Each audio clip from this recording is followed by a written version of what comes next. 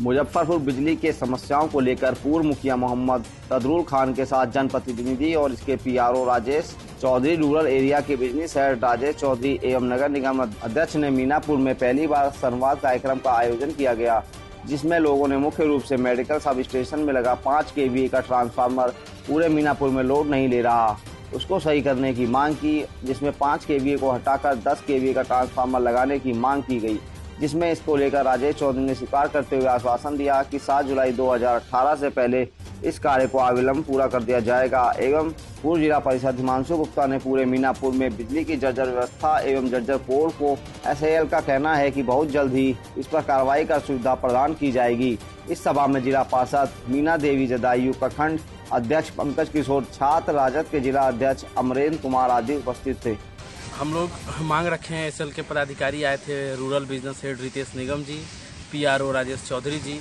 उन लोग से हमने आग्रह किया कि पूरे मीनापुर में जो बिजली का पोल और तार का जो जर्जर व्यवस्था है, कहीं सर, बीच सड़क के बीचों बीच गड़ा है, कहीं इतना डाउन में है कि लोग को वहाँ से लाने में परेशानी है, इस चीज़ को सुचारू रूप से करने का हम लोग मांग रखे और बिजली बिल में बहुत सारा फर्जीवाड़ा भी हुआ है, उनके टीम के लोगों के द्वारा अवैध उगाही कर लिया गया है।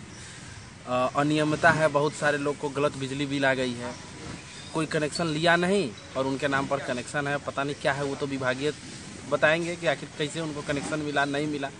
ये सारा चीज़ को सुचारू रूप से लाने के लिए अभी जो वोल्टेज लो वोल्टेज की जो समस्या, एकदम वोल्टेज लो है, लोग इतनी गर्मी में बेचैन हो जा रहे हैं, बच्चे बेचैन हो रहे हैं, बच्चे पढ़ नहीं पा रहे हैं, रोशनी नहीं आ पा रहा है। सारी समस्या को हम लोग उनके समक्ष रखा है। उन्होंने ये आश्वासन दिया है कि एक सप्ताह के भीतर 10 एम का ट्रांसफार्मर लग रहा है मीनापुर के लिए और उससे वोल्टेज की समस्या दूर हो जाएगी और पोल के लिए भी वो लोग आगे अपने विभाग में लिखे हैं और वहाँ से अप्रूवल लेके उस पर भी काम शुरू कर देंगे। क्या परिचय हुआ?